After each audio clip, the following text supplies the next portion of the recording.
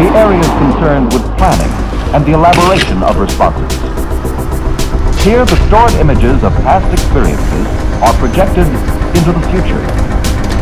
This stimulates them to select an appropriate response. This is conveyed back to the areas controlling body behavior.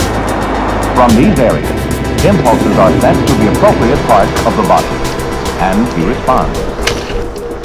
These are the steps involved in every act of conscious behavior, First, reception of the stimulus.